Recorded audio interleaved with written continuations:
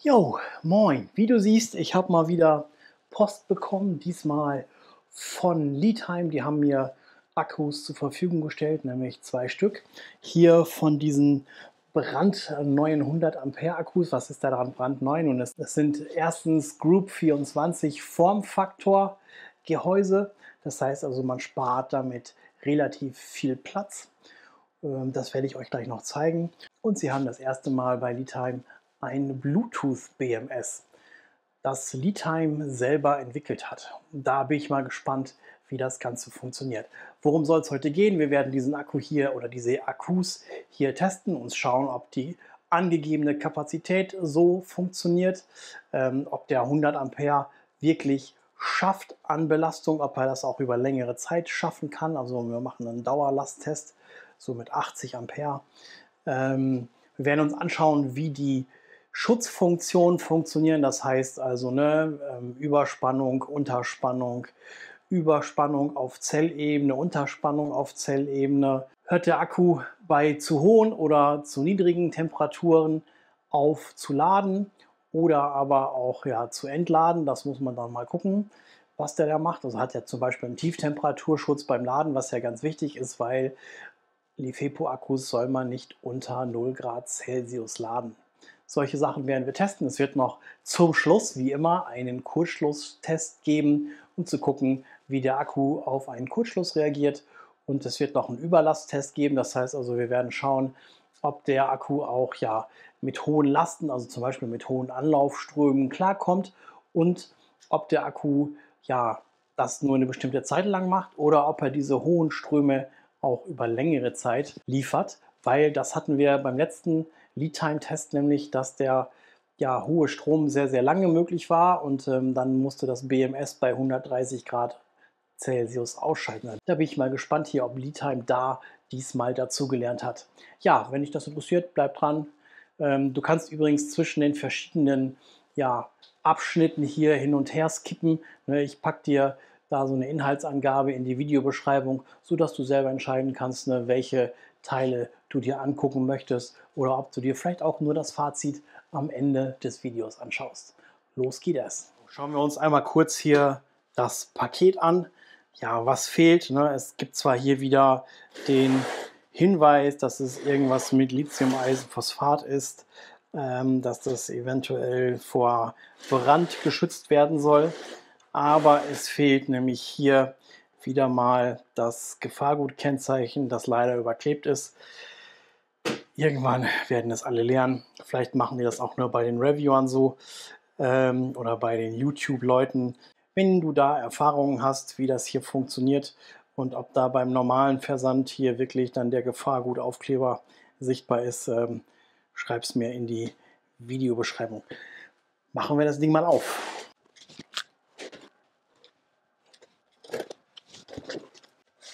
Ja, und wie immer hier ein kleines Täschchen mit der Bedienungsanleitung. Aber hier fehlt schon das Teil hier. Machen wir das wieder rein. So.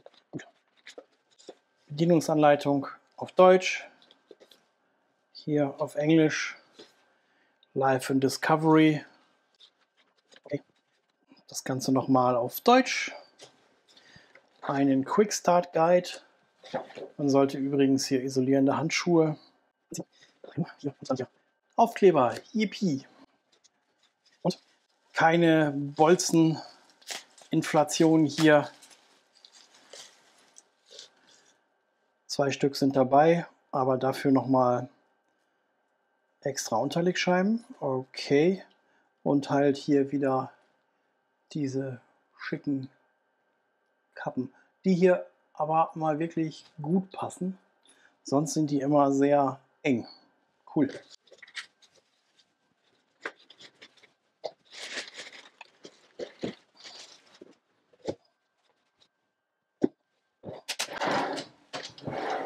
Ja, schickes, kleines Gehäuse in mattschwarz.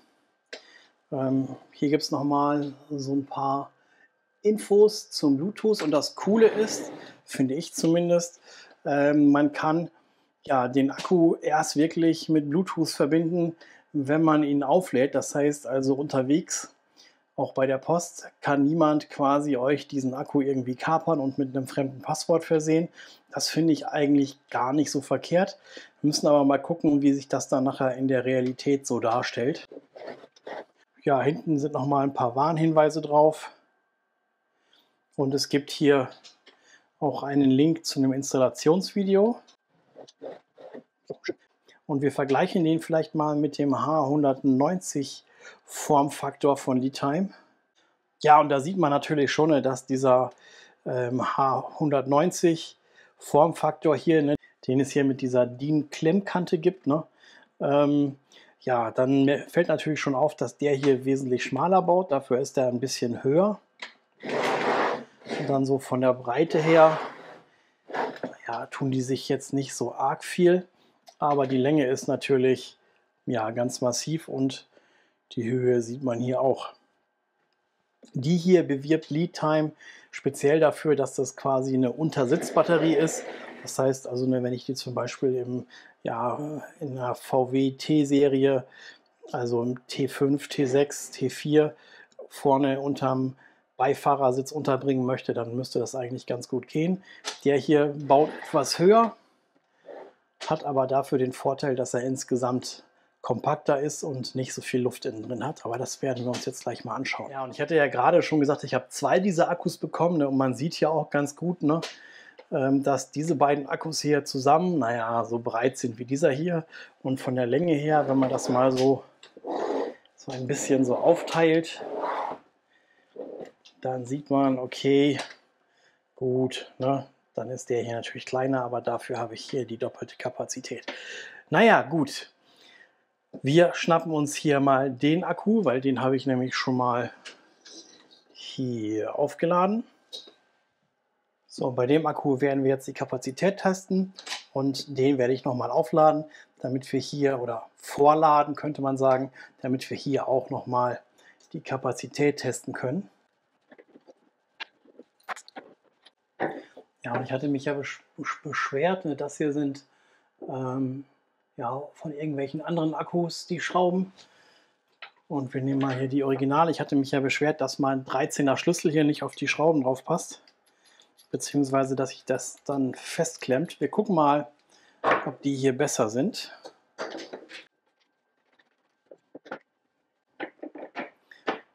Ja, auch hier rutscht er durch. Also es ist immer noch die Frage, ob hier das wirklich 13 mm ist. Aber der hier hat 13 mm und ganz wichtig ist, ne, bitte nutzt, ich weiß, ich bin da nicht das beste Vorbild, aber bitte nutzt nach Möglichkeit isoliertes Werkzeug und gerade den hier, sowas ist bei AliExpress nicht teuer, verlinke ich euch einfach mal in der Videobeschreibung. So, für den Kapazitätstest gibt es hier wie immer den ZKE-Tech ja, Batterietester EBC A20. Dafür gibt es diese tolle Software und da kann man einstellen, was man gerne machen möchte. Wir laden ihn nochmal mit einem konstanten Strom von 6 Ampere plus minus und ähm, so lange bis er 14,6 Volt bekommt. Und dann geht der Strom langsam runter und zwar so lange, bis der Strom unter 1 Ampere fällt. Dann gibt es eine halbe Stunde Pause und dann wird der Akku entladen, auch wieder mit 6 Ampere und zwar so lange, bis der Akku 10 Volt hat. Starten wir das Ganze mal. Tja, der Akku scheint irgendwie voll zu sein. Ich zeige euch das mal. Ich drücke hier auf Start. 15,65 Volt und dann geht er aus. Spannend. Das heißt, wir werden jetzt hier direkt den Discharge-Weg gehen. Machen hier 6 Ampere, Cut-off Voltage 10 Volt und gucken mal, ob er sich jetzt entlädt.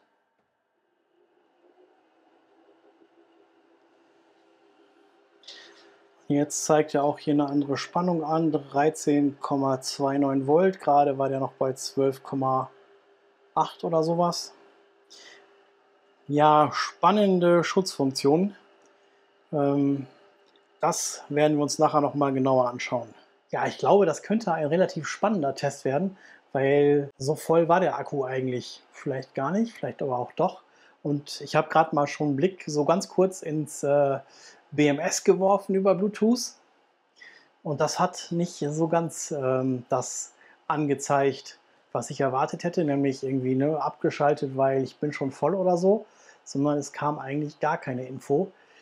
Dem werden wir auf den Grund gehen. Ich äh, schnapp mir ja nachher nach dem Kapazitätstest mal gleich mein Smartphone und wir gucken uns das dann beim Kapazitätstest für den Akku Nummer 2 an.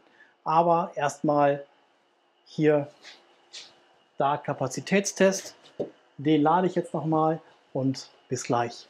So, und damit ich mir merken kann, welcher Akku welcher ist, ich habe da hier den zwar mit gelb markiert, aber wir haben ja tolle Sticker. Also hier Explore the Future und der andere bekommt hier den Back to Nature Sticker.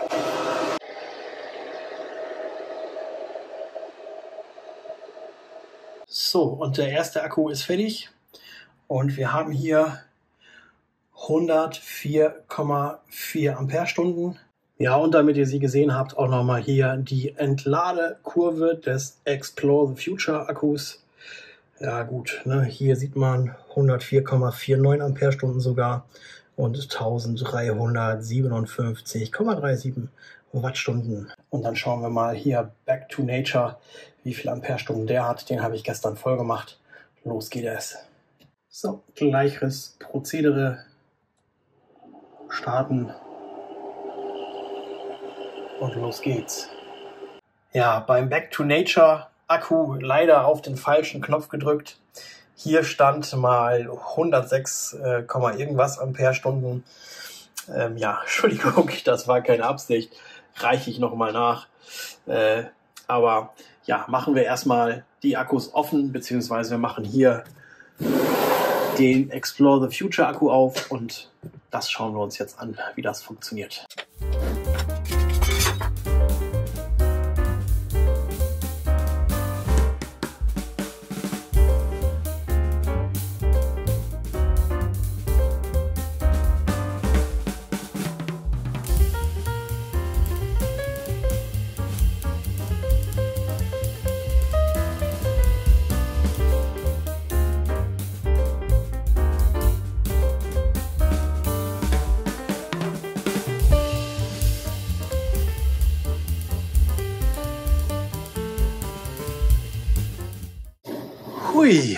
So.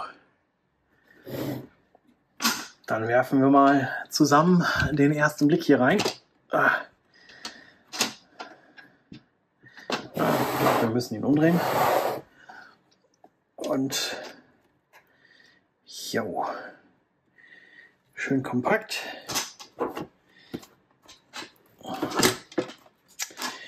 Ja, und ah, da müsst ihr hin. So, schön kompakt sieht das aus. Gucken wir mal, ob wir den Klotz da rauskriegen. Habt ihr nicht gesehen? Das gute unisolierte Messer. Okay, in den Schrumpfschlauch verpackt hier. Das ist gar nicht so verkehrt. So, dann machen wir den hier mal raus. Also ne, wie immer hier gut bündig in so massive Schwämme verpackt. Da hatte ja letztes Mal jemand bei dem Video gefragt, ne? lassen die sich stark zusammenpressen? Das hält ja nicht. Also da muss schon einiges an Kraft kommen, damit man diese Schwämme hier zusammendrücken kann. Also die halten eine ganze Menge aus. Und was sehen wir hier? Zum ersten Mal schwarze Zellen. Ja. Okay, aber bauen wir mal weiter auseinander. Wir haben alles natürlich wie immer hier mit Kleber vollgesüfft.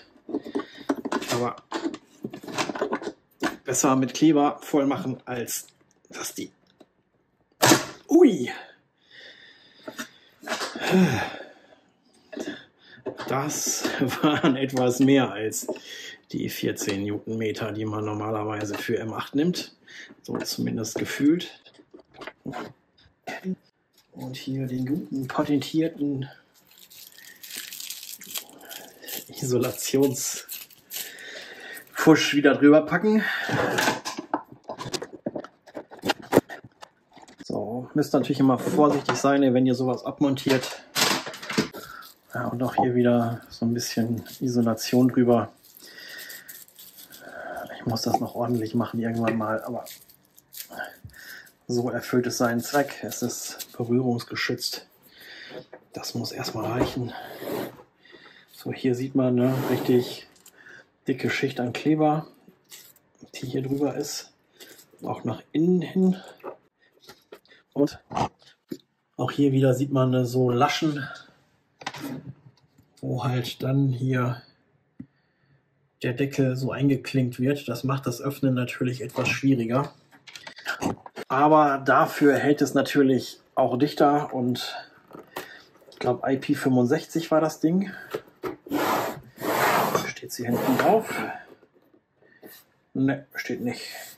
Das sollte man nicht machen, hier an den Polen ziehen.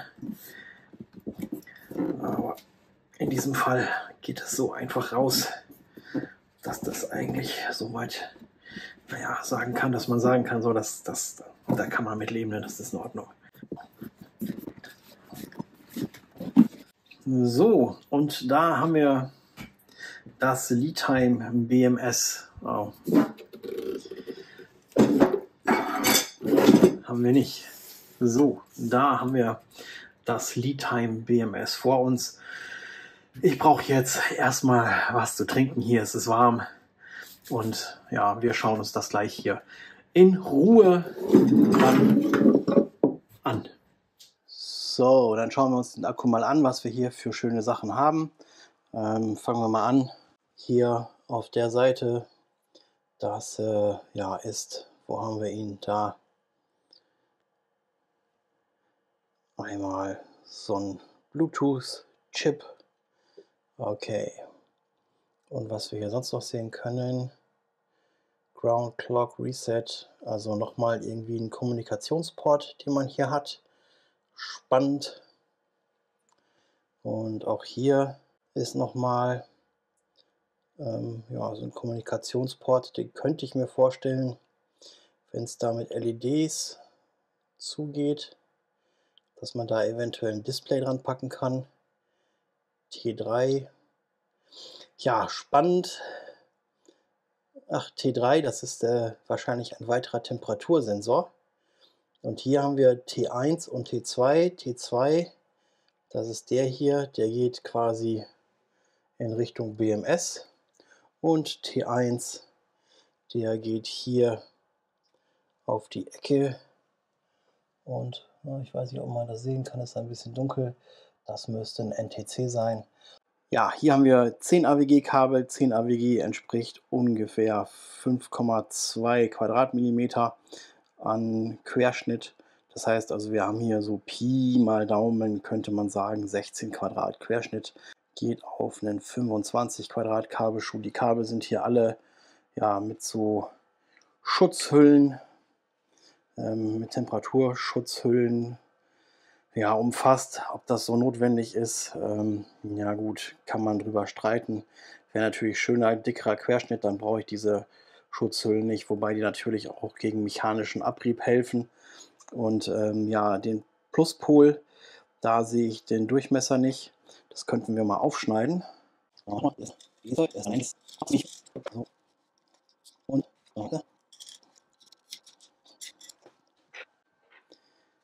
so, gucken wir uns mal an. 6 AWG, 6 AWG entspricht ungefähr 13 Quadratmillimeter an Kabelquerschnitt. Ähm, ja, man kann natürlich diskutieren, ob das reicht auf diese kurzen Strecken. Mag das natürlich gehen, da kann man drüber streiten. Ähm, ich würde eher sagen, okay, ne, eine Nummer dicker, also hier jeweils 9 AWG und hier, was weiß ich, ein 5 AWG Kabel mindestens oder vielleicht sogar ein 4 AWG wäre natürlich sinniger. Vor allen Dingen, wenn man bedenkt, dass man hier ähm, für eine Sekunde lang, naja, 500 Ampere rausziehen kann äh, und 100 Ampere Dauerleistung. Da wären natürlich schon dickere Kabel besser. Gut, Temperatursensor hatten wir. Hier sind die Sensoren für die Messung der Zellspannungen und vielleicht auch fürs Balancing. Das müssten wir dann mal messen. Und wir machen gleich mal das unisolierte Werkzeug hier weg. So, ich habe das schon mal für euch aufgemacht hier. Und dann können wir das einfach mal rumklappen. Und ähm, ja, wie ihr seht hier schwarze Zellen. Und wir gucken uns gleich mal an, was hier die Barcodes sagen, beziehungsweise die QR-Codes hier der Zellen. Ich habe auch noch keine schwarzen Zellen gesehen, also wenn ihr irgendwelche Ideen habt, was das sein könnte. Hier natürlich Zellpole wieder verschweißt. Ähm, ja. So, und wir gucken uns hier mal die Barcodes an. Hm, wie immer auf der Google Power Webseite und hier sieht man Codecheck. Code ist in Ordnung, Länge ist in Ordnung, ähm, aber hier Batterietyp und Kapazität unbekannt. 27. September 2022. Wenn das stimmt, also recht alte Zellen.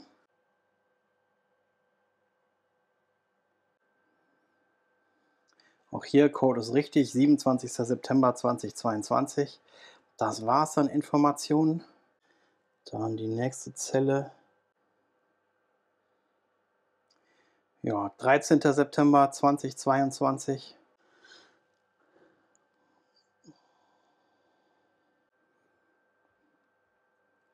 Und auch hier wieder 18. September 2022. Ja, prima. Und wir werden jetzt gleich den Akku aufladen und ihn für den Dauerlasttest bzw. den Überlasttest vorbereiten. Beim Aufladen werden wir hier gleich auch mal gucken, ne, ob hier die Niedrigtemperaturabschaltung funktioniert und hier auch die ja, Hochtemperaturabschaltung funktioniert. Gucken, wann er abschaltet. Und ähm, ja, was wir machen müssen, ist hier einmal die Zellspannungen zu beobachten mit einem externen Gerät. Warum das so ist, zeige ich euch gleich in der. So, klatschen. Okay, jetzt schließe ich hier mal, ne, ist der noch einfach per Anderson-Stecker das Ladegerät an. Okay, es tut sich noch nichts. Das Ladegerät leuchtet einfach mal rot. Ja, und es geht auch einfach nichts rein. Ja, spannend. Jo, das heißt, wir müssen uns hier mal anschauen, welche Spannung wir hier haben des Akkus. Das ist mal spannend. So, wir messen erstmal hier einfach mit den Tastköpfen direkt an der Batterie. Gucken wir mal, was wir hier haben. Und hier haben wir eine Spannung von 11,71 Volt. Das wäre ja cool. So, und dann gucken wir mal hier. Ne, hier bin ich hier hinten nach dem BMS. Und schauen wir mal, was das BMS uns anzeigt. Hup. Ja, 0,161 Volt. Das ist zwar nicht schlecht, aber wenn ich natürlich hier ein Ladegerät habe, das äh, nicht ja quasi tief, also das nicht dazu fähig ist, nach einer Tiefentladung den Akku zu laden, aus Sicherheitsgründen, dann ist natürlich klar, warum das hier nicht funktioniert. Also, ja, einmal umbasteln wieder. Und dann machen wir das mit dem ZKE-Tech und geben ihm da erstmal einen initialen Schubs. Ja, das Blöde ist jetzt natürlich auch, dass ich per Bluetooth hier nicht drauf komme, weil das BMS sich quasi schlafen gelegt hat. Was natürlich eigentlich auch nicht verkehrt ist, weil so ein BMS braucht ja auch quasi einen gewissen Strom, damit es quasi seine Funktion ausüben kann. Und auch hier für Bluetooth und so. Und das ist natürlich dann gut, dass das BMS quasi dann den Akku nicht leer lutschen kann. Also so von der Seite her ist das durchaus perfekt in Ordnung. Okay, das BMS haben wir jetzt äh, ja wieder zum Leben erweckt. Ich habe es leider nicht aufgenommen, Entschuldigung. Ähm, ne, mit dem ZKE-Tester, den kann man auch nutzen, wenn der Akku zum Beispiel hier wirklich tief entladen ist und die meisten Ladegeräte können das nicht. Müsste man natürlich mal dann, wenn ich diese beiden Akkus bei mir ins Auto einbaue, mal testen, den Akku komplett leer zu fahren und ob dann zum Beispiel der Victron MPPT-Regler ja, die Batterien wiederbeleben kann. Das wäre mal eine spannende Frage. Explore the Future, da muss ich hin. So. Ja, vielleicht war der auch gerade da. Nee, war der nicht. So, auf jeden Fall bin ich jetzt drauf. Und wir schauen uns einmal kurz hier das BMS an. Es steht auf Bereitschaft, ähm, 0 Watt Leistung, 0,0 Ampere Strom, 11,7 Volt Spannung, 1,0 Ampere-Stunden Kapazität, Informationen zur Batterie, Temperatur. Wieso hat er das in Fahrenheit? Das stellen wir einfach mal um. Irgendwo einstellen. Hier konnte man die Temperatur auf Grad Celsius stellen. Gut, okay. So. Ja, und jetzt ne, nochmal das Ganze. Ähm, Temperatur hier unten 23 Grad Celsius, Anzahl der Zyklen eine, Firmware-Version 1.4.0.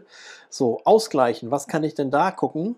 Ähm, da kriege ich einen schönen Hinweis, dass die Balance, dass die Batterie balanciert ist, beziehungsweise dass der, ja, genau, ne, dass hier halt das BMS balanciert ist. Ja gut, nicht verkehrt. Dann hier die Zellen, da, wo man jetzt eigentlich erwarten würde, okay, er zeigt die äh, Zellspannung an, gibt es hier ein, ähm, Ihre Batterie funktioniert optimal.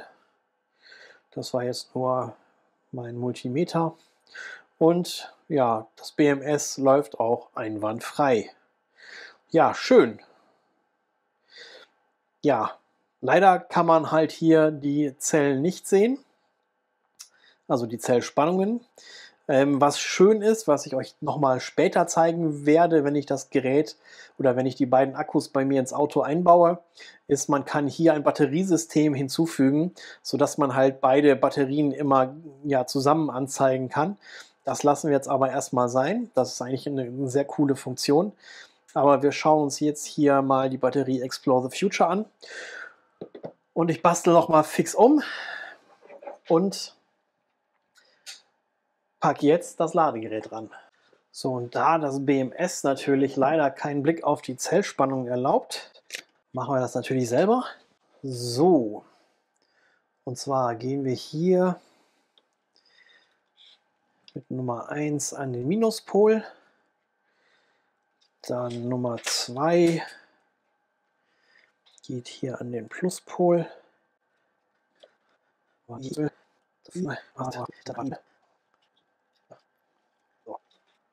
BMS legen wir hier vorsichtig wieder drauf.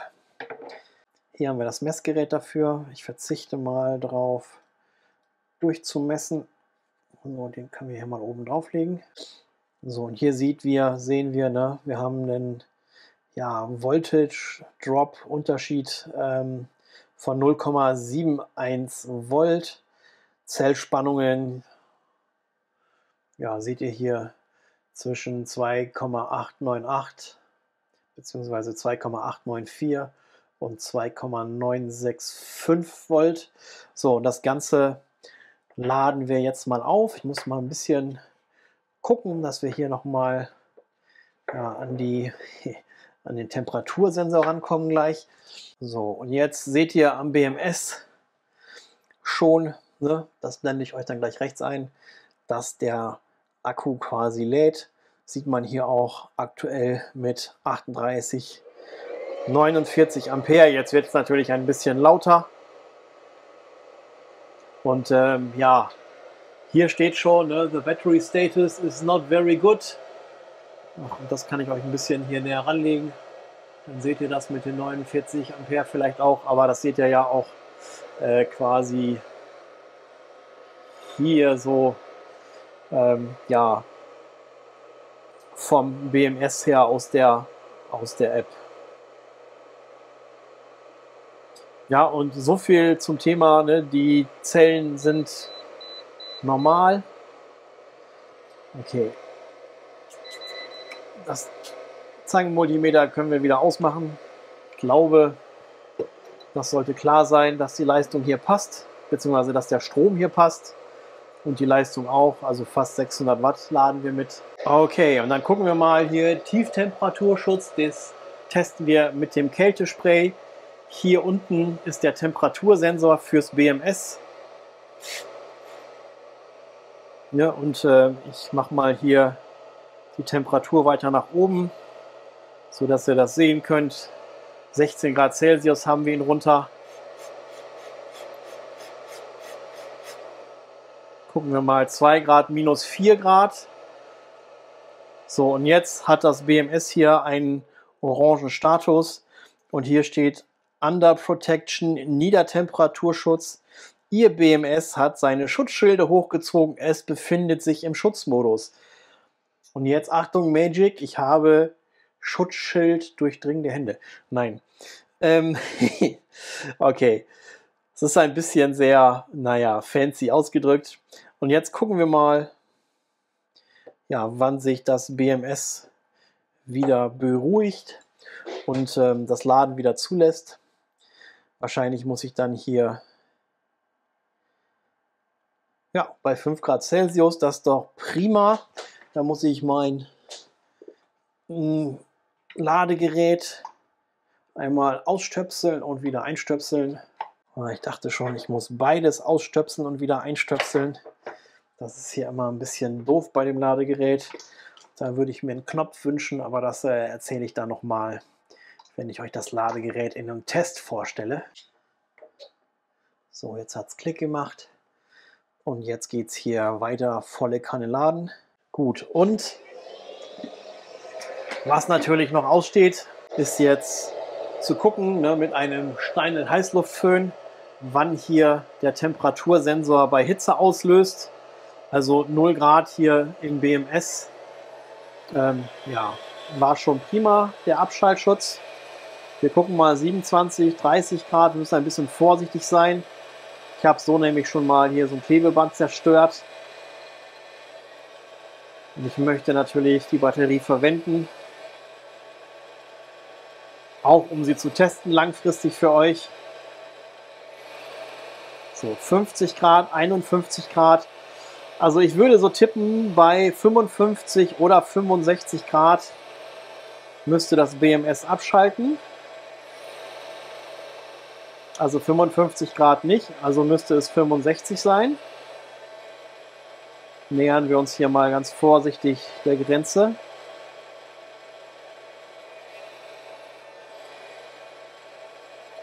Und jetzt hat das BMS abgeschaltet.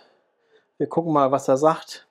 Under Protection, Überhitzungsschutz. Ihr BMS hat seine Schutzschilder hochgezogen. Es befindet sich im Schutzmodus. Ja, perfekt. Also schon mal Daumen hoch. Die Ladebegrenzung funktioniert. Beim Laden wird dann bei Untertemperatur und Übertemperatur das Laden abgeschaltet. Das ist natürlich perfekt. So wollen wir das. Und ja, 50 Grad ich habe jetzt gerade nicht genau gesehen, wann es abgeschaltet hat. Wir machen jetzt hier das Ladegerät wieder dran. Und machen den Akku voll. Das wird jetzt ungefähr zwei Stunden dauern. Und äh, ja, ich werde versuchen, euch dann gleich wieder mit reinzunehmen sobald der Akku dann richtig voll ist. So, 98% sind im Akku drin. Wir gucken mal hier 0,006 Volt nach oben hin. Das heißt also, schaut ganz gut gebalanced aus. Und wir kommen langsam in die Phase, ja, wo es Richtung 3,65 Volt geht.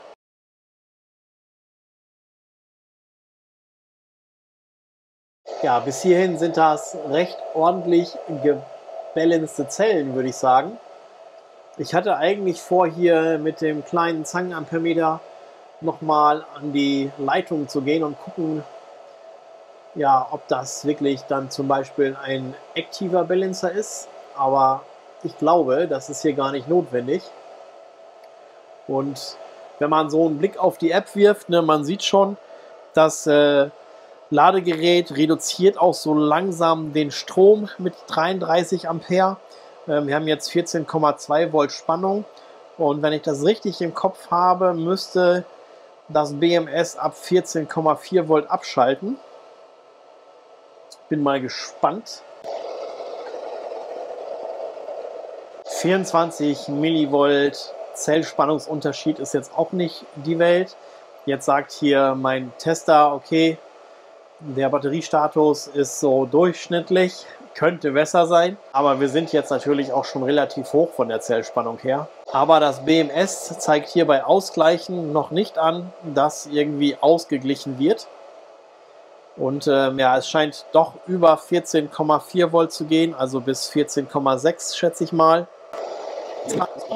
Also Zelle 3 müsste das grüne Kabel sein und wenn ich jetzt hier anlege und das System Balance, jetzt habe ich hier bei Ausgleichen ähm, ja, eine Info, ne, dass es hier Balancing aktiv ist. Aber ich sehe hier nur 0,4 Ampere. Mal gucken, vielleicht habe ich da eine andere Zelle. Welche ist denn am niedrigsten? die Zelle 4. Das müsste hier der rote sein. Und jetzt hat es aufgehört. Das BMS sagt mir Under Protection, Überladeschutz. Ah, das heißt Under Protection, also nicht unter. genau. Also wir haben einen Überladeschutz. Und wir gucken mal, das BMS scheint noch zu balancen. Sagt er hier zumindest. Mal größer machen. Eigentlich müsste es dann in Zelle 4 gehen. Aber wie Sie sehen, sehen Sie nichts. Das hier müsste Zelle 1 sein. Da geht auch nichts mehr rein oder raus. Da sehen wir ein bisschen was. Das ist die Zelle Nummer 2. 3,493. Gucken wir mal. Da. Also ganz, ganz geringer Strom nur. 0,07, 0,05 Ampere. Das ist so gut wie nichts. Also kann man fast davon ausgehen, dass das hier eher so ein passiver Balancer ist. Ja, sogar 100 mA, 112 mA. Also so ein bisschen scheint hier gebalanced zu werden. So, ja, der nächste Punkt ist der Überlasttest und der Dauerbelastungstest, der wird aber dann erst morgen wieder auf der Liste stehen hier bei mir im Büro. Das schaffe ich heute nicht. Wir haben es jetzt 21 Uhr Feierabend. Und ähm, ja, morgen geht es dann weiter. Ich bereite das schon mal vor. Und ähm, ja, dann sehen wir uns morgen zum Lasttest wieder. So, ja, und ich hatte das ja gerade beim zerlegten Akku bei dem hier nicht gezeigt. Ne? Hier ist die Akkuspannung 1,367 Volt. Da war hier die interne Spannung noch bei 11 Volt. Und ähm, ja, wir schauen uns jetzt einmal an. Ich werde jetzt hier einmal den IBC-Tester anschmeißen, ganz kurz. Und äh, wir gucken mal, was dann passiert. Ne, und ähm, ja, Und jetzt geht er einmal aus, der EBC-Tester, und wir haben hier 11,43 Volt. Ja, und das ist genau die Spannung, die jetzt der Akku hat. Das heißt also, wir haben das BMS wieder aktiviert und jetzt kann ich hier mit dem großen Ladegerät wieder dran gehen, weil ich will auch noch mal mit dem zweiten Akku hier einen Lasttest fahren, um mal zu gucken, ähm, ja, wie sich die Temperatur verhält von den Zellen. Und zwar einmal im offenen Gehäuse und einmal im geschlossenen Gehäuse. Das äh, glaube ich, dass das ganz spannend sein könnte.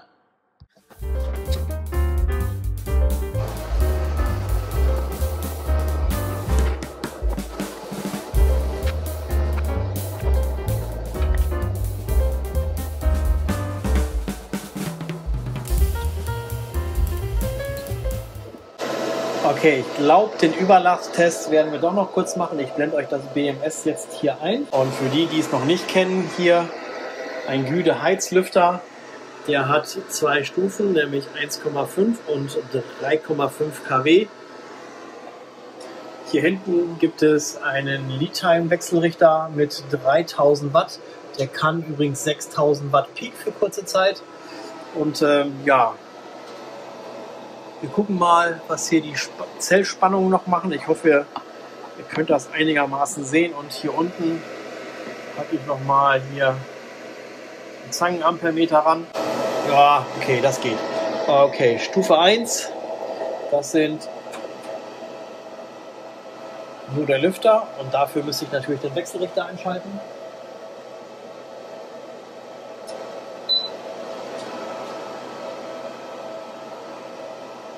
Die Spannung baut sich auf und hier haben wir entspannte 3 Ampere für den Lüfter. So, und jetzt geht das los. Ach, wir können uns natürlich auch noch angucken, äh, wie das im BMS aussieht. So, gehen wir ein bisschen hoch.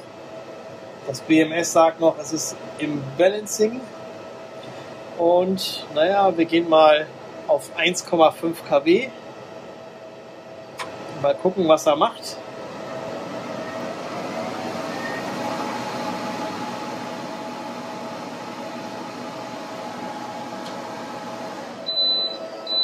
Ja, und ungefähr 10, 15 Sekunden. Das heißt also, er schaltet dann über 100 Ampere entsprechenderweise ab. Und jetzt müssen wir natürlich mal gucken.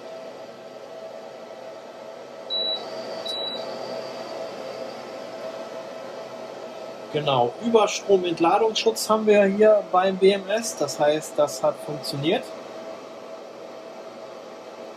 Jetzt wäre es natürlich schön, Ah, jetzt hat es geklickt, das BMS ist wieder da. Und jetzt können wir nochmal einschalten. So, wir sind jetzt bei 0. Ich schalte jetzt den Lüfter an. Und das äh, Lead-Time BMS hat ja quasi ein ja, Limit von 500 Ampere für 5 Sekunden waren das, glaube ich. Und ähm, gehen wir mal auf 3000 Watt direkt. So, und jetzt können wir schon mal gucken, denn die Spannung bricht natürlich schon mal ein, aber er macht es halt ein paar Sekunden. Und jetzt ist er wieder aus. Das heißt also, wenn man Geräte hat, die ja einen hohen Anlaufstrom benötigen oder so, dann ist quasi dieser Lithium-Akku prima, weil ich kann bis 500 Ampere, wir haben jetzt natürlich nur bis ungefähr 200, was war das gerade, 264, 280 ähm, getestet. Aber ne, das haben wir bei Leadtime auch schon anders überlegt. Deswegen hier Daumen nach oben hin. Ähm, hoher, kurzer Anlaufstrom funktioniert super. Danach schaltet das BMS ab. Genau so muss das sein. So, für den Dauerlasttest hier leicht geändertes Setup. Statt dem Industrie-Heizlüfter gibt es hier ganz normalen Heizlüfter. Zwei Stufen, 1000 und 2000 Watt. 1000 Watt entspricht so ungefähr 80 Ampere. Jo, und da werden wir jetzt mal loslegen. Ich schalte mal einmal hier den Wechselrichter schon an. Ich blende euch hier wieder die App ein. Ja, man kann hier so ein bisschen sehen. Ich glaube, das reicht. Ne? 2 Ampere haben wir jetzt und wir gehen jetzt mal hier in den Wärmemodus. Schauen wir auch mal, 13,3 Volt haben wir jetzt. Ob die Zellen bei 1000 Watt vielleicht so ein bisschen einbrechen, aber naja, so viel ist das nicht. 0,3 Volt nur von der Spannung her.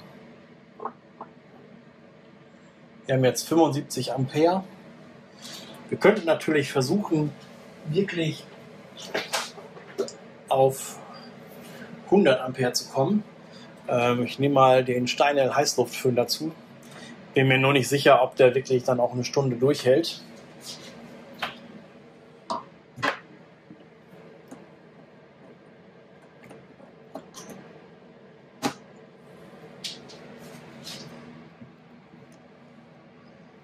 weil das Problem ist, über 100 Ampere schaltet das BMS irgendwann ab. Gucken wir mal. Na, 103 Ampere, das wird nicht funktionieren. Wir testen das nochmal. Vielleicht macht er ja doch ein bisschen länger.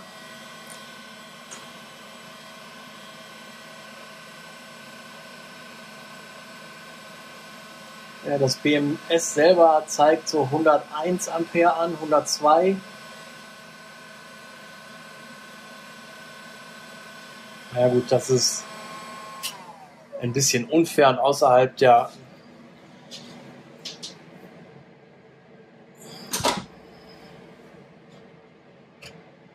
etwas außerhalb der Spezifikation. Deswegen lassen wir das einfach mal.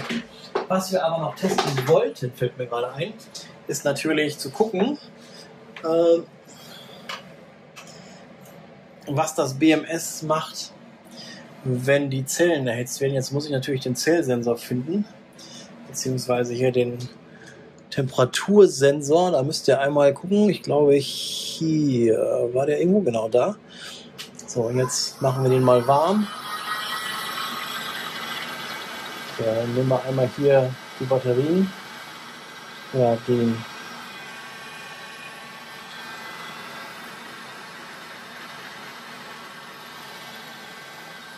vierundvierzig Grad, sechsundvierzig,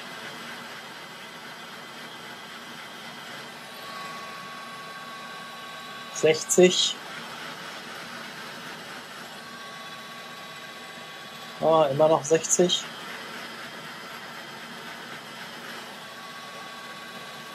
Siebzig. Okay, reicht noch nicht. Jetzt haben wir hier die 75 oh, wahrscheinlich gerade überschritten gehabt. Jetzt fängt er ein bisschen an zu piepen und wir gucken mal, wann das zurückgeht. Ab 60 Grad geht es hier wieder los. Ja, super. Das funktioniert schon mal. Also die Wärmeabschaltung funktioniert. Und wir gucken mal, ob wir das hier auf 25 Grad minus runtergekühlt kriegen.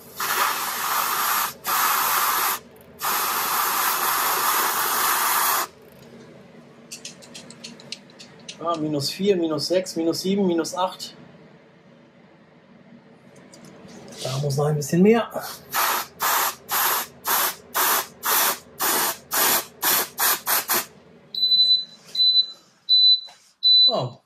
schon ab minus 20 scheinbar.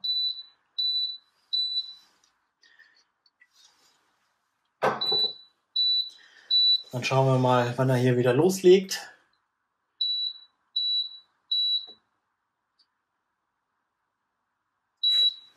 wir können ja mal den Alarm angucken hier.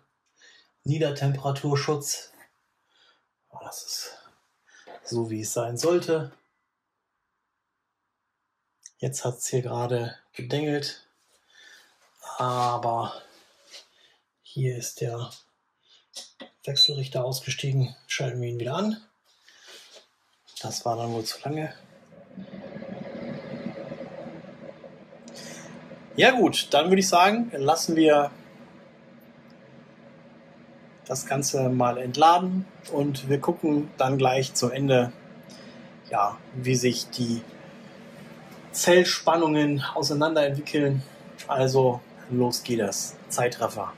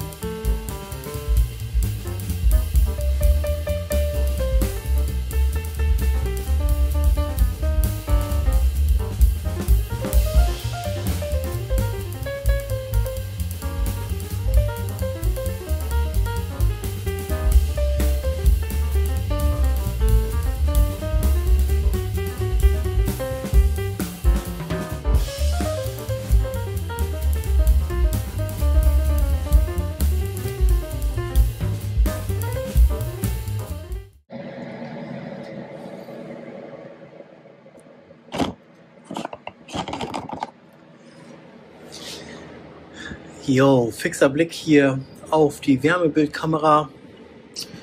Und ja, heißester Punkt sind wie zu erwarten eigentlich ähm, die MOSFETs hier, da wo der weiße Punkt ist, 51 Grad Celsius zu circa, kann man sagen. Ja, die Kabel hier mit ja, 45 Grad Celsius, beziehungsweise ja, so ungefähr 48, 49. Ein bisschen unterdimensioniert vielleicht. Das könnte besser. Wir haben ja noch nicht 100 Ampere, sondern nur 80. Da wären natürlich dickere Kabel immer besser. Und ähm, die Zellen hier, die Zelltemperatur, ja, 40 Grad, hier 41 Grad an der Seite gemessen. Und wie du siehst, ähm, 36 Grad oder 35 Grad zeigt das BMS an.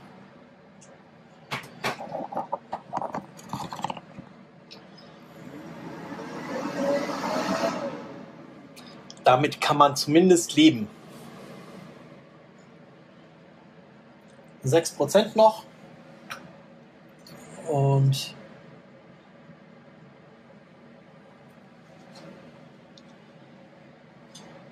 sieben oder naja, 0,07 Stunden verbleibende Nutzungszeit.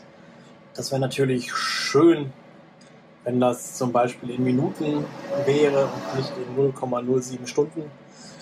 Das müsste man dann ja wieder umrechnen. Aber gut,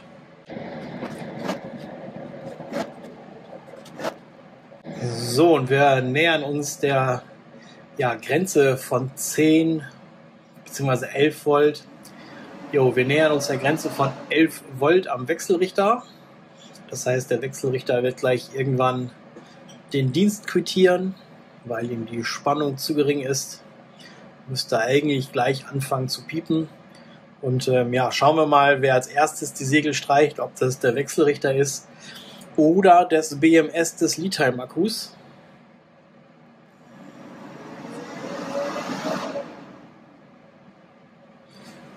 10,9 Volt kommen noch am Wechselrichter an. Jetzt fängt er schon an zu piepen. 10,8 Volt. Ja, und der Akku hat hier noch angezeigt im BMS 11,2. Zeigt er hier auch ähm, 10,5 Volt. Und jetzt ist hier Ende. Ja, das heißt also, der Wechselrichter schützt natürlich den Akku, wenn er bei 10,5 Volt abschaltet. Das hat natürlich was Positives. Aber wir möchten natürlich sehen, wie sich der Lead-Time-Akku verhält. Und deswegen werden wir ihn jetzt mit dem EBC-Tester nochmal komplett entladen. So, ich hätte ja gesagt, hier den Back to Nature Akku, den wir oder den ich halt nicht aufgemacht habe, den werden wir auch nochmal testen, was die Temperaturen angeht. Auch natürlich hier mit dem Langzeittest wieder mit 1000 Watt. Stellen wir den Wechselrichter hier an und dann sollte es genau hier gleich losgehen. So, während das läuft, nehmen wir uns hier wieder den offenen Akku vor. Ja, und er hat schon ähm, so ein bisschen abgebaut von den Zellspannungen her. Und wir schalten mal die BMS-Aufnahme dazu. Muss man manchmal kurz wieder aktivieren. Okay, hier gibt es keine Hinweise, dass irgendwas nicht so wäre, wie es soll. Und ähm, ja, wir entladen jetzt mal mit 6 Ampere ähm, bis zu einer Cut-off-Voltage, sagen wir mal bis 8 Volt. Ähm, ich denke mal, der wird früher abschalten, aber man weiß ja nie. Schauen wir mal, wie leer wir ihn kriegen. Das müsste jetzt eigentlich relativ fix gehen. Nur noch ein Prozent auf der Uhr.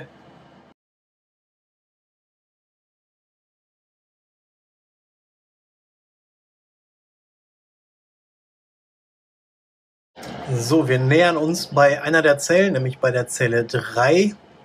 so langsam den 2,5 Volt. Das ist natürlich ein Abschaltkriterium. Und da schauen wir mal, oder das wäre ein Abschaltkriterium. Und da schauen wir mal, ob das hier wirklich funktioniert. 10,8 Volt des Akkus oder 10,65, je nachdem, wie man das sieht. Äh, Quatsch, 10,75. Und hier sieht man, hier hat das BMS abgeschaltet. Tiefentladeschutz, das heißt also, sobald eine der Zellen unter 2,5 Volt fällt, ja, hört hier das Entladen auf, also so wie es sein soll. Und ja, das heißt, wir können hier die Batterie wieder einpacken bzw. wieder zusammenbauen und dann laden.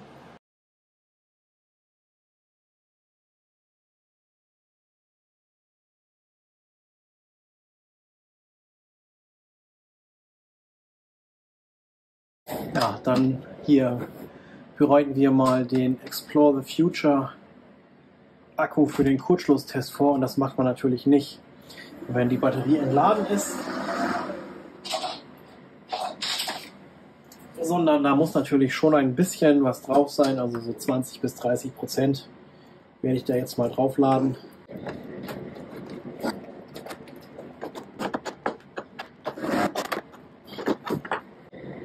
Und stimmt, da war was. Ähm, ja, ich hätte natürlich eigentlich mit dem EBC 20 hier einmal vorladen müssen.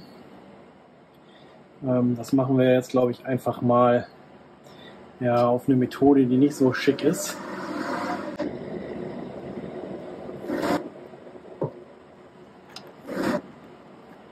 So, ja, ich weiß, das macht man so nicht. Aber wir wollen da nur einmal kurz einen kleinen Strom auf den Akku geben. Er hat jetzt nämlich nur 1,3 Volt. So, und jetzt hat er wieder 11,07, so wie sich das gehört. Das heißt, der ist aktiviert und jetzt kann ich ihn auch laden.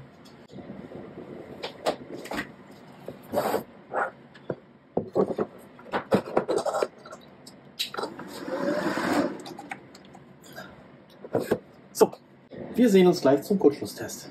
Ja, bei dem Setup hier liegen wir bei grob 40, 41 Grad hier in der Batterie. Das ist noch, naja, das ist schon eine ganze Menge, aber auch durchaus noch im Rahmen des ja, Erlaubten, würde ich sagen. Okay, und dann würde ich sagen, brechen wir das hierfür mal ab, weil ich möchte den, die Batterie hier nicht zu oft leer machen. Ja, und auch hier der Explore the Future Akku hat jetzt 39% State of Charge. Das heißt, wir machen den Akku jetzt klar für den Kurzschlusstest. Auf geht's zum Kurzschlusstest. Dafür nehme ich hier so ein Aluminiumbar. Die Enden sind nochmal geschützt für meine Hände. 175 Ampere Sicherung ist dazwischen. Hier hinten seht ihr die Spannung des Akkus.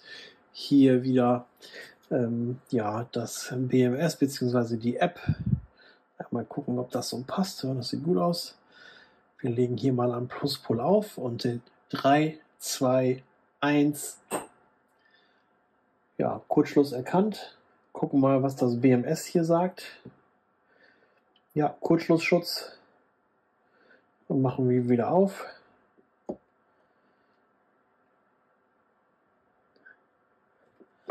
Und jetzt ist das BMS auch wieder da. Das heißt, es dauert ein bisschen, bis das BMS wiederkommt. Das finde ich eigentlich sehr praktisch. Also nochmal testen, Kurzschlussschutz, zack, ohne irgendwie einen Funken zu schlagen und dann wieder losmachen. Hier klebt auch nichts irgendwie. Und da ist das BMS wieder voll da. Ja, prima. Kurzschlusstest astrein bestanden. Mein Fazit zu diesen beiden Group 24 Akkus mit Smart BMS von Leadtime. Ja, die Schutzfunktionen sind alle perfekt ausgeführt. Das heißt also, es schaltet dann ab, wenn es abschalten sollte. 2,5 Volt Zellspannung nach unten hin, 3,65 Volt Zellspannung nach oben hin. Das passt schon mal sehr gut so. Das heißt, der Akku schaltet dann auch selber ab.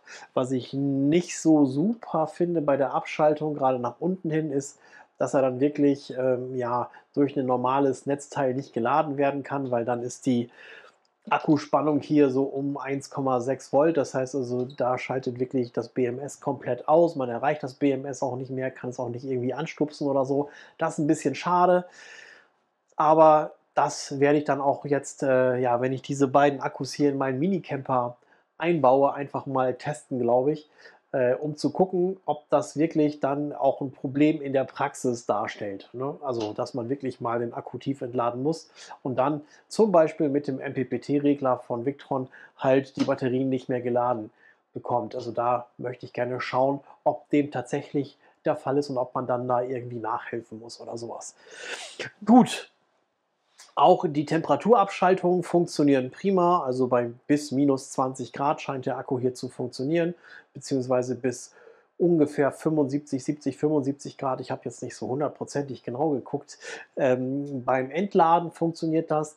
Bei 0 Grad kann der Akku dann halt nicht mehr geladen werden. Das heißt also unter 0 Grad schaltet hier die Ladung quasi ab und halt auch über 65 Grad Celsius. Ich hatte das ja beim letzten Akkutest schon gesagt, okay, das wäre mir lieber, wenn diese Grenzen nach oben etwas tiefer wären, zum Beispiel bei Laden und Entladen so mehr so Richtung 55 Grad oder sowas. Da würde ich mich einfach sicherer fühlen. Aber es ist schon mal sehr gut. Ne? Ich hatte ja schon am Anfang gesagt, ähm, bei dem, da unten steht da, bei dem H190 Akku, also bei dem ersten Modell, was ich hatte, da ist halt die Temperatur des BMS bis 130 Grad raufgegangen und äh, da ist dann Lead-Time hier wirklich einen massiven Schritt weiter. Das äh, ist übrigens auch der Fall, wenn man sich anschaut, wie die ja, Überlastreaktion ist. Das heißt, ne, ich kann diese Akkus laut Datenblatt bis 500 Ampere für 5 Sekunden belasten. Das heißt also optimal für hohe Anlaufströme zum Beispiel, wenn man irgendwas mit dem Motor macht oder so. Das ist prima. Aber nach 5 Sekunden hier schaltet dann das BMS ab bei zu hohen Strömen. Und äh, das war halt auch bei diesem H190 Akku damals das Problem, dass der das nicht gemacht hat. Und auch da ist Leadtime jetzt wirklich einen super Schritt weitergegangen. Das finde ich wirklich top in der eigenen Entwicklung ja, das kann man eigentlich auch so sagen. Auch die Kapazität passt mit 104 oder 106 Ampere-Stunden. Ich habe ja beide getestet. Von daher ist auch da alles im grünen Bereich.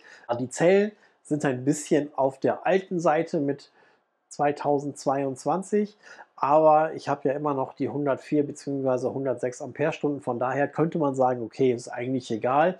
Ne, die sind irgendwie ja, schwarz verpackt. Schwarze Zellen habe ich bis jetzt noch nicht gesehen. Ähm, auch der Hersteller bei Gobel Power ne, in dieser QR-Geschichte, da konnte man das nicht nachschauen, ähm, welcher Hersteller das war. Das hinterlässt so ein kleines ähm, Geschmäckle, weil man natürlich auch nicht weiß, ne, wenn der Hersteller unbekannt ist, ist natürlich auch die Frage, ob man sich auch wirklich auf diese Datumsangabe verlassen kann. Da stehen wir so ein bisschen im Dunkeln. Ne, auch hier Temperatur bzw. Aufbau des Akkus wie üblich innen drin mit Schaumstoff gearbeitet. Es ist natürlich schöner, wenn man innen drin ein Metallgestell hat oder ein festes Gestell, wie wir das jetzt bei anderen Akkus schon gesehen haben. Ähm, das ist natürlich noch schöner, aber hier ist der Aufbau, würde ich sagen, auch einigermaßen so weit in Ordnung, dass man halt damit arbeiten kann. Die Platzierung des Temperatursensors, also des NTCs, ne, der war ja so an der Kante des Akkus an der Außenseite. Da ist es natürlich besser, eigentlich, wenn man diesen ja, Sensor entweder auf einen dieser Barcode-Flächen klebt oder wirklich zwischen ähm, die Akkus packt. Ne, das kann man immer diskutieren. Das haben wir beim letzten Akkutest auch gemacht. Aber wenigstens ist hier der Temperatursensor an der Zelle befestigt und nicht irgendwo oben drüber auf einer GFK-Platte. Also von daher ist das eigentlich auch schon sehr gut. Und man verwendet hier nicht mehr diese typischen Bimetall- ähm, ja, Temperaturschalter, die halt nur nach oben hin auslösen, sondern wirklich ein NTC, der sowohl bei hohen als auch bei negativen Temperaturen im Zusammenspiel mit dem BMS halt die Zellen ja, passend vor zu niedrigen Temperaturen und zu hohen Temperaturen schützen kann. Häufiger Kommentar unter meinen Videos ist natürlich, ah, die Kabel sind viel zu dünn. Ja, viel zu dünn würde ich nicht sagen, sie reichen aus, aber sie werden halt, wie ihr gerade gesehen habt, unter Last schon ordentlich warm. Das heißt also, für hohe Lasten über Dauer würde ich diese Akkus unbedingt nicht nehmen. Das kommt auch eigentlich nicht so häufig in der Realität vor.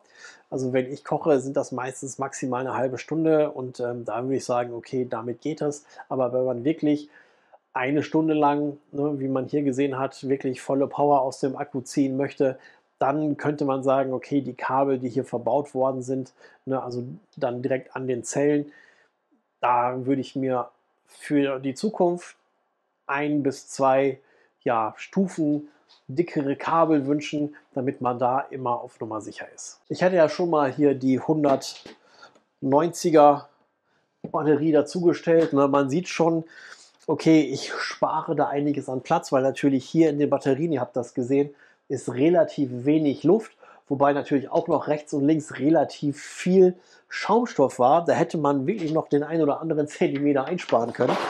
Und ähm, ja, das ist halt immer das Problem mit so standardisierten Gehäusen. Group 24 ist halt ein Standard, der für Wohnmobile aus den USA ist. Ähm, das heißt also, diese Akkus ließen sich wahrscheinlich noch einen Ticken kleiner bauen. Ne, also von der Breite und von der Höhe her. Ähm, aber ich finde, das hier ist schon gegenüber dem deutschen H oder dem europäischen H190 Standard halt schon eine coole Sache. Da bekommt man vielleicht wesentlich mehr Akkus in sein Fahrzeug, ja, als das mit so einem H190 Akku der Fall ist. Ne? Aber dafür hat man natürlich hier den Nachteil, dass diese Akkus hier dann aufgrund der Höhe, das sind ungefähr 21 Zentimeter, ne, dann nicht mehr unter den Beifahrersitz passen. Das muss man natürlich dann auch beachten. Ne? Ich persönlich finde das Format ja sehr passend, weil das erlaubt mir, diese Akkus hier bei mir in den Minicamper einzubauen.